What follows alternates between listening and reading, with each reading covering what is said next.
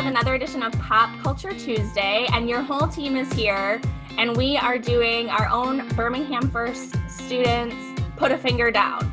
So we have 10 fingers, and we want to see how many um, fingers you have left at the end of our game. So put it in the comments and let us know how many fingers you have left. So, team, are y'all ready? Yeah. Okay.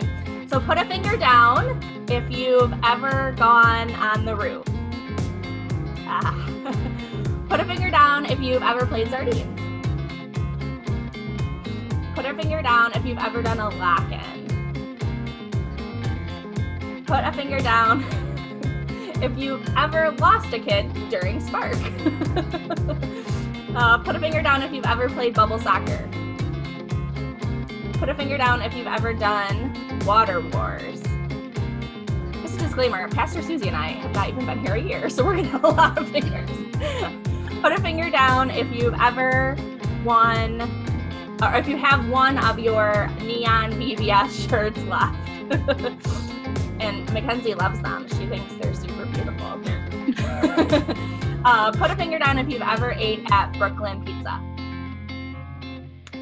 Put a finger down if you were ever blobbed at choir camp and then put a finger down if the van has ever broken down on one of your mission trips or overnight trips. All right, so what do y'all have? Mackenzie has two. I have like so many. I seven. Yeah, man. oh, you have two. So Katrina, Katrina and Mackenzie win. In your comments, let us know how many you guys have. Um, we look forward to um, gathering back with you and experiencing um, so many more so that all of our fingers at the end of this are all down. Um, we're thinking of you. We love you. Um, we are with you in spirit. And tune in next week. Subscribe to our channel. Uh, put your number in the comments and we would love to reply to you. Bye.